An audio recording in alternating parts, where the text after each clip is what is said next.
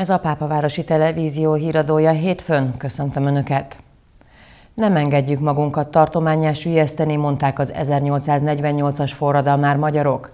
Hét nemzedéknyi idő választ el minket, mai magyarokat Kossuth nemzedékétől, ami azonban örökre összeköt bennünket, az a küzdelem azért, hogy a magyar élete ne legyen soha idegen célok eszköze mondta ünnepi szónoklatában Kövér László, a Magyar Országgyűlés elnöke, Pápaváros díszpolgára a március 15-i nemzeti ünnepen, a március 15-e téren tartott megemlékezésen. A városi ünnepségen adták át az önkormányzat által alapított legrangosabb kitüntetéseket. Pápavárosáért érdemérmet és Pápaváros díszoklevelét idén hatan vehették át. A díszalegység és a hagyományőrző huszárok bevonulásával kezdődött, majd Kövér László ünnepi beszédével folytatódott. Az 1848-49-es forradalom és szabadságharc 166. évfordulójára rendezett megemlékezés. Az országgyűlés elnöke a 48-as eseményeket, eszményeket emelte ki szónoklatában. A magyar forradalom változást követelő akarata nem rombolt, hanem épített azonnal egy új élet kereteinek megteremtésére sarkalta a forradalmárokat.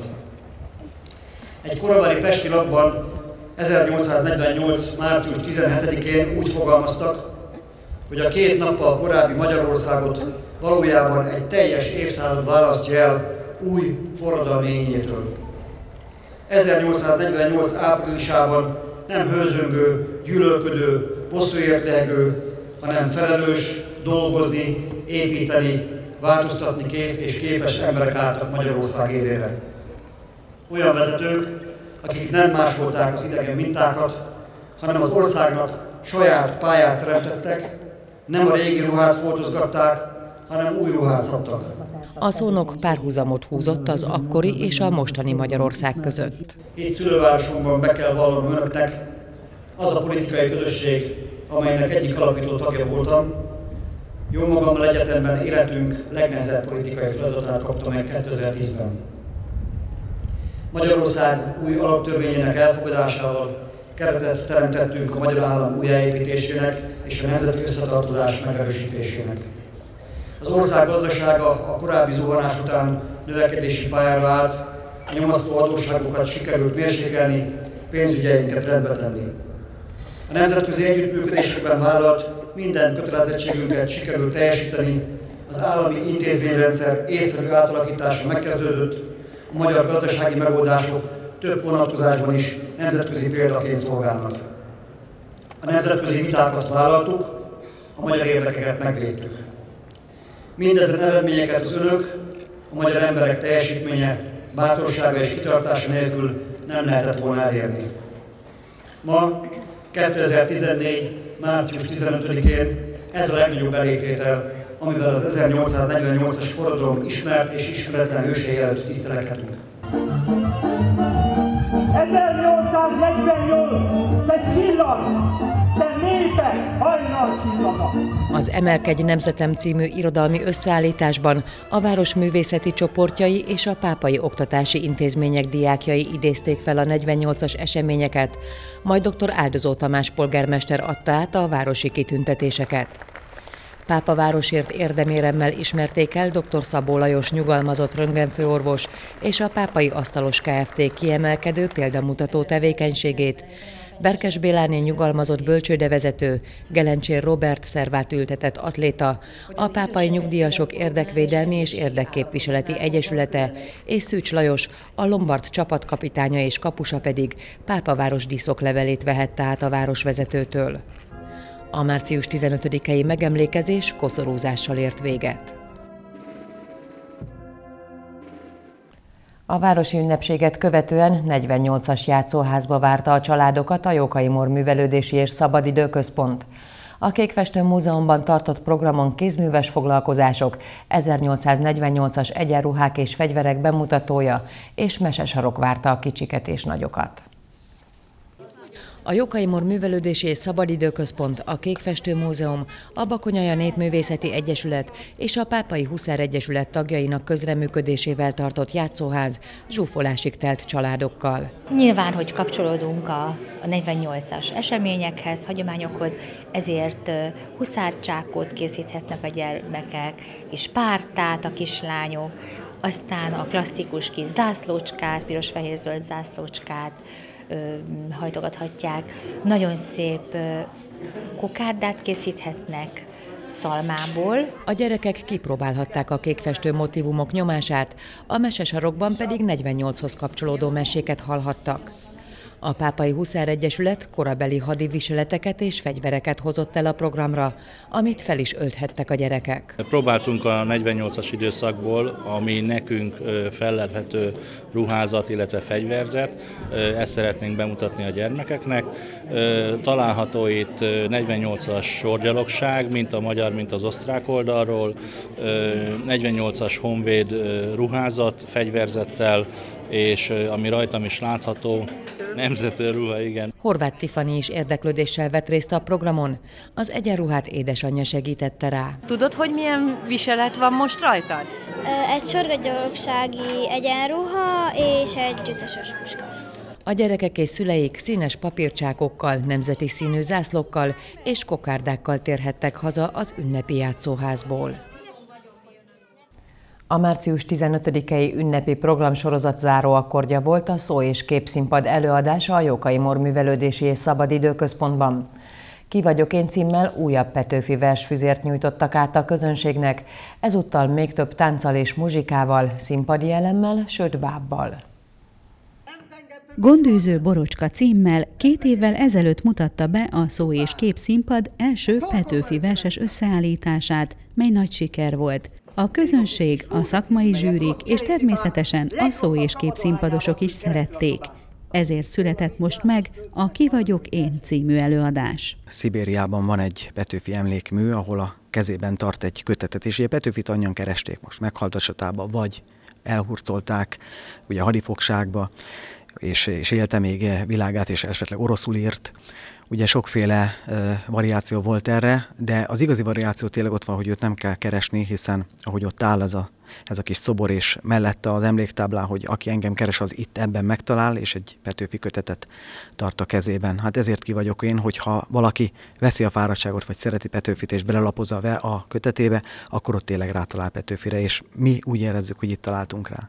A verseket Csukárdi Sándor válogatta az 1843-44-es évekből. Ezt az időszakot Petőfi életében a kettősség jellemezte. Egyrészt munkát kapott, fordított és írt, kibékült édesapjával. Ugyanakkor szomorúan látta családja nehéz anyagi helyzetét. A verseket kocsmai keretjátékba illesztette be a rendező. Míg a gondűzőben jelzésértékű volt a tánc, ebben az előadásban hangsúlyosabb szerepet kapott. Rózsás Hajnalka és Csukárdi Sándor mellett Vida Anna, Újber András és Nagy Szasza is színpadra lépett. Kalotaszegi és rábaközi táncok kötötték össze a verseket, helyszíneket. Egységet alkotott a költemény és a mozgás. Ez a fúzió, ez szerintem nagyon-nagyon jó, a színjátszás és a tánc együtt.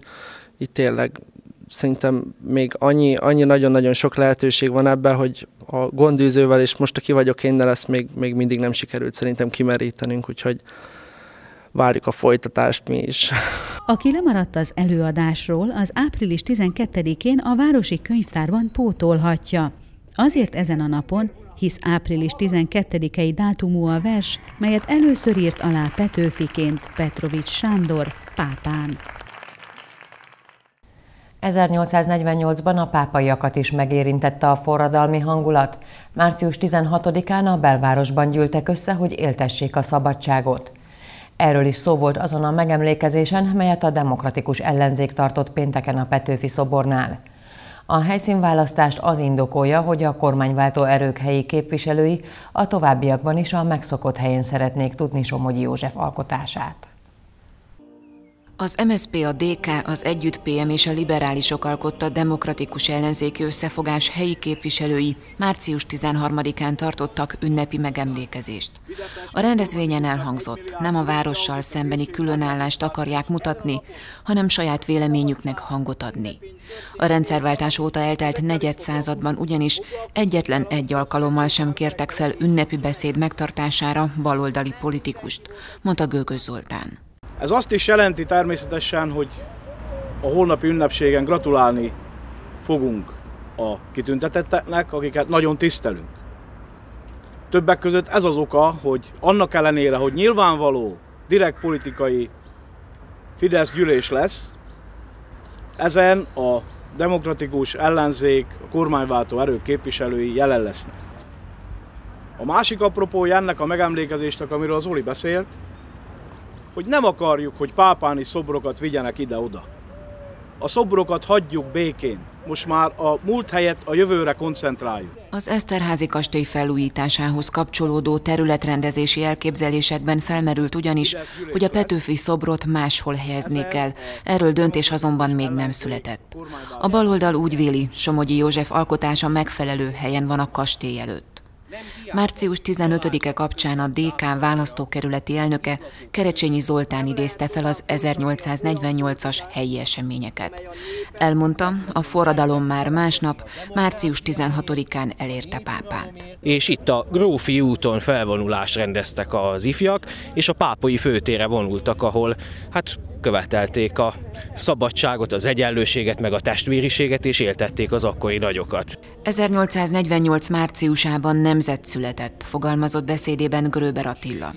Az MSZP helyi elnöke rámutatott arra, hogy a reformkori Magyarország politikai szereplői számos dologban nem értettek egyet, az ország ügye azonban egyéni érdekeik felett állt. Nem is nagyon kedvelték egymást mindig. Egyben viszont egységesek voltak, az, abban, hogy egy olyan országot kell építeni, ahol az önmagáért és a nemzetért felelős emberek közösséget alkotnak, és közösségként képesek felemelni a, a nemzetet. A beszédeket követően a megemlékezés koszorúzással és mécses gyújtással zárult. 1848. március 15-e modern politikai nemzetünk születésnapja, amelynek jelentősége csak az államalapításhoz fogható mondta Áder János köztársasági elnök Békáson az 1848-49-es forradalom és szabadságharc tiszteletére szervezett ünnepi rendezvényen. A településen március 15-én Hollán Ernőre is emlékeznek, aki katonaként őrnagyi rangban szolgált a szabadságharc idején, majd a kiegyezést követően közlekedési államtitkárként az ország vasúthálózatát megtervezte. Hollán Ernő Békáson a családi sírboltban nyugszik. Ki kivégezze el feladatát a közösségért, a hazáért. Hollán Ernő gondolatait idézte Békáson beszédében Áder János.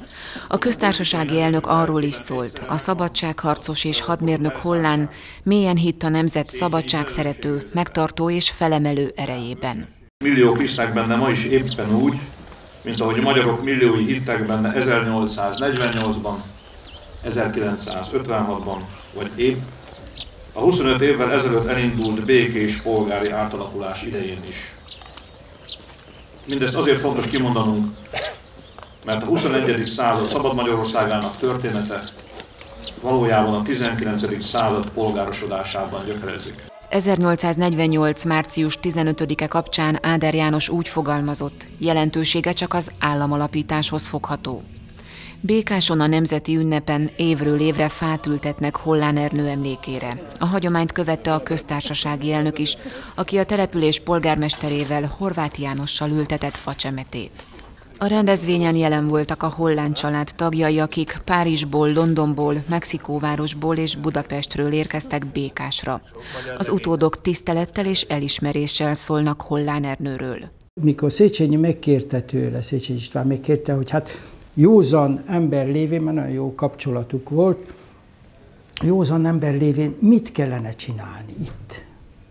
A kiegyezés előtt volt, ugye. Mit kellene csinálni? Akkor azt mondja, én nem vagyok politikus, én nem vagyok politikus. Igen, de hát azért csak írd le, ami, amit, ke, amit tenni kellene. És ő leírta, és ez lett tulajdonképpen, ha jobban megnézzük, egyik alapvető kiinduló pontja a kiegyezésnek. Hollán Ernő munkásságát méltatta a megemlékezésen Nemes József, a Nyugat-Magyarországi Egyetem docense. Ünnepi műsort a szombathelyi Hollán Ernő kollégium diákjai adtak, közreműködött a Celdömölki Liszt Ferenc kórus. A rendezvény koszorúzással zárult, a jelenlévők a kriptakápolnánál helyezték el a megemlékezés virágait. Az 1848-49-es forradalom és szabadságharc tiszteletére szervezett emlékünnepség előtti percekben a Jókai utcán álltak díszsorfalat a Pápai Huszár Egyesület tagjai. Az ünnepség előtt Varga Sándor hagyományőrző huszár főhadnagy, a Magyar Huszár és Katonai Hagyományőrző Szövetség korábbi korszaki elnöke, Tóth Kálmánnak a magyar katonai hagyományok ápolásában nyújtott kimagasló érdemeiért a Magyar Huszár és Katonai Hagyományőrző Szövetség lovakkeresztjét adományozta. Összetartja a Pápai Huszár Egyesület tagjait, részt vesz nem csak a helyi, hanem az országos programok szervezésében is, és külföldön is élő hagyományőrzőkkel is szoros kapcsolatot. Így köszöntötte Varga Sándor hagyományőrző főhadnagy, a Magyar Huszár és Katonai Hagyományőrző Szövetség parancsőrtisztje, Tóth Kálmán hagyományőrző huszárzászlóst, és adta át a szövetség lovak keresztjét. Gratulálok a kitüntetéshez! A Pápai Huszár Egyesület alapító tagja eleinte titkárként, majd alelnökként vett részt az Egyesület munkájában, fejtette, s fejti ki ma is lelkiismeretes tevékenységét. Tóth Kálmán személye és tevékenysége nem ismeretlen a pápaiak előtt, hiszen számos a katonai hagyományőrzéshez kötődő kezdeményezés, rendezvény és több egyesület irányítása fűződik nevéhez. A Huszár Egyesület alelnöke több mint két évtizede kötelezte el magát a hagyományőrzés terén, de a magyar történelem, a néprajz és a természet iránti nagyfokú érdeklődését a család alapozta meg. Mindaz, amit otthonról hoztam a dédszülőktől, nagyszülőktől, szüleimtől, az valamilyen formában a paraszti világ, a régi hagyományok, katonai hagyományok, hiszen ott voltak előttem mindig azok a fényképek, amik annak idején az ősökről készültek, nagyapáim, akik a két világháborúban részt vettek, és hát ez találkozott pár embernek a szintén igényével, és hát 92-ben jött el az idő, hogy mindent figyelembe véve lovakat, lovasokat, embereket, támogatókat megalakítsuk a Pápai Huszár Egyesületet. Tóth Kálmán hagyományápolásban elért érdemeit mind helyi, mind országos szinten többször elismerték. Az idei városi ünnepség előtti percekben a Magyar Huszár és Katonai Hagyományőrző Szövetség lovak keresztjét vehette át. Az elismerés további erőt és motivációt ad a megkezdett úton, a jövőben is őrizni, ápolni hagyományainkat, és átörökíteni a következő generációk számára. 200 millió forintot nyert el a város az Eszterházi kastély rekonstrukciós projektjének önrészéhez, jelentette be sajtótájékoztatón ma reggel dr. Áldozó Tamás polgármester. Ez a forrás újabb teret ad az önkormányzatnak a kisebb, de az itt élők komfortérzetének javítását eredményező városi beruházásokhoz. A sajtótájékoztatón adta át dr. Kovács Zoltán országgyűlési képviselő a városvezetőnek azt a bizonyságlevelet, ami azt igazolja, a kormány átvállalta a város teljes adósságállományát. 2012. decemberében döntést hoztunk, hogy kiszabadítjuk városainkat és falvainkat az adósság csapdából. A döntés értelmében a magyar kormány pápavárosát 4 milliárd 715 millió 386 630 forint adósságból maradéktalanul kiváltotta. Olvasható az Orbán Viktor miniszterelnök által aláírt bizonyságlevélen az adósság konszolidációt igazoló dokumentumon. Költségvetésben szereplő rossz kondíciók miatt jó néhány önkormányzatnak hitelt kellett felvennie, illetve kötvényt kellett kibocsátania. Ez meghaladta az 1200 milliárd forintot az utolsó öt esztendőben. Pápa városa is vett fel hiteleket, az én időmben is, illetve a polgármester úr ideje alatt is. A kormány az önkormányzatokat kimentette ebből az adósság csapdából, Először az 5000 fő alatti településeket 100%-ban, az 5000 fő feletti településeket 40 és 70 százalék között, majd mostanra a teljes összeget átvállalta. Dr. Áldozó Tamás úgy fogalmazott, a bizonyságlevél olyan kordokumentum, mely tanulságul szolgál a jövőre nézve is. A polgármester egy másik kormányzati pénzügyi segítségnyújtásról is szólt. Nem csak arról tudunk beszámolni, hogy a kormány átvállalta a város adósságát a többi más magyarországi településéhez hasonlóan, hanem arról is, hogy az elmúlt két évben hozott döntések sokaságával bővítette a pápai önkormányzat mozgásterét is.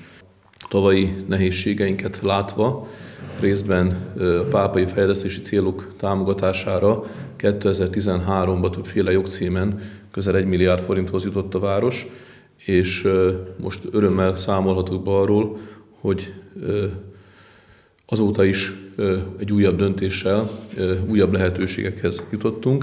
Nevezetesen a korábban a, az Eszterházi kastély rekonstrukciójával kapcsolatban benyújtott önrész pályázatunkat bírálta el kedvezően a kormányzat, és múlt héten kaptuk azt az önerő támogató okiratot a miniszterelnökségről, ami arról értesíti a várost, hogy a, a 2014. évi önrészek kifizetéséhez mintegy 200 millió forint önerő támogatást vehetünk igénybe. Ez azt jelenti, hogy a város a 2014. évi költségvetésének elfogadása óta is jobb helyzetbe került, így még több olyan beruházást valósíthatnak meg idén, ami javítja a városlakók komfortérzetét. Hende Csaba honvédelmi miniszter adta át ünnepélyes külsőségek között ma délelőtt az MH Pápa bázisrepülőtér új logisztikai raktárbázisának épület együttesét. A raktárak fellépítése a bázis korszerűsítésének egyik lépéseként valósult meg, és a laktanyába települt szervezetek tevékenységét szolgálja. A rendezvényen részt vett Fucsku Sándor vezérőrnagy, az MH összhaderőnemi parancsnokság parancsnoka és dr. Kovács Zoltán országgyűlési képviselő is. Katonai tiszteletadással fogadták Hende Csaba honvédelmi minisztert, ezt követően történt meg a logisztikai raktár együttes átadása. A műszaki paraméterek és a kivitelezés körülményeinek ismertetése után a honvédelmi miniszter szólt az egybegyűltekhez. Hende Csaba szónoklatában a SZEK program előnyeit hangsúlyozta. Nagy nap ez a mai számunkra, amikor a Magyar Honvédség Pápa bázis repülőterének raktárbázisát adhatjuk át a NATO a szabadság védelmére hivatott közösség. Minden nemzet a saját akaratából vesz benne részt. A NATO-nak nincsen hadserege, csak a tagállamoknak, amelyek összeadják erejüket egymás védelmében. Magyarország számára rendkívül hasznos a NATO tagság.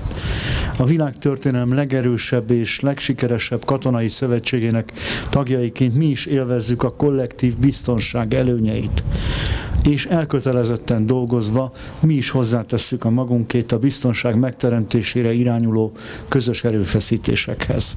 Ez az új raktárbázis korszerű és professzionális feltételeket teremt az MH Pápa bázis repülőtér és a SZEK program többi szervezete számára is a logisztikai feladatok ellátásához. Nagyon régi adósság az, amit most sikerült törlesztenünk. Büszkék arra, hogy a pápai repülőtér folyamatosan fejlődik, ennek egy ékes példája a mostani beruházás elkészülte, fogalmazott a megbízott bázisparancsnok. Ez egy raktárbázis, természetesen raktározásra fogjuk használni. Itt fogjuk elhelyezni azokat az anyagokat, ami korábban is egyébként már itt voltak a repülőtéren, tehát a ruházati anyagokat, a technikai eszközeinket, ami, ami éppen a bázis működéséhez szükséges. Ez egy úgynevezett NSIP, egy közös beruházás keretében megépült létesítmény, ami azt jelenti, hogy egy részét fizette Magyarország, másik részét pedig a NATO. Tovább folytatódik a Pápa bázis repülőtér fejlesztése, tudtuk meg a programon. Már az idén elkezdenek építeni a C-17-es repülőgépek számára egy hangárépületet, és egy új irányítótornyot is kap a repülőtér, nyilatkozta Magasi Zsolt. Hende Csaba az avatáson azt mondta, a pápai repülőtér a jövőben teherrepülőtérként fog szolgálni. A legújabb zsebszerződés gyanús, illetve színleltszerződés gyanús földügyekről tartott sajtótájékoztatót pénteken Orbán Imre, a Jobbik Magyarországért mozgalom pápai szervezetének elnöke. Orbán Imre a programon úgy fogalmazott, az elmúlt hetekben többször keresték őket Veszprém megyei gazdák, hogy zsebszerződésükből színlelt szerződéssel kilépő külföldiek vagy azok strómanjai tucatjával adják el földjeiket ismeretlen hátterű cégeknek és pénzembereknek. A földekért irreálisan magasan összegeket ígérnek, így a magyar gazdáknak esélyük sincs termőföldhöz jutni. A vételi ajánlatoknál tömegesen fedezhetők fel a szélelés ismérvei, mondta Orbán Imre. Majd mindegyik szerződésben visszatéri motívum, hogy az eladók holtig tartó haszonélvezeti joggal bírnak az adásvétel után, az általuk eladott földterületre. Több kifüggesztése kerül termőföldre vonatkozó vételi ajánlatnál a jogszerűség is erősen megkérdőjelezhető. A dokumentáció teljes megküldésével Ferenci Gábor jobbikos országgyűlési képviselő írásbeli kérdést intézett március 13-án Fazekas Sándor agrárminiszterhez ebben a témában, míg az anyaföldvédelmi kerekasztal és a Jobbik jogi kabinetje vizsgálja a jogi lépések lehetőségét, mondta a Jobbik helyi elnöke. Az önkormányzatoktól kapott információk szerint a megyei kormányhivatal is vizsgálatot indított, tette hozzá Orbán Imre, mely jelzi az ügy súlyát, jelentette ki. A Jobbik már demonstrációt is folytatott gyanús NFA pályázatok miatt a megyében, mondta Orbán Imre. Május 1-én életbe lép az új földforgalmi törvény, a folyamatot a Jobbik helyi elnöke szerint azonban már nem lehet megállítani. Híreink után most nézzük, milyen idő várható holnap.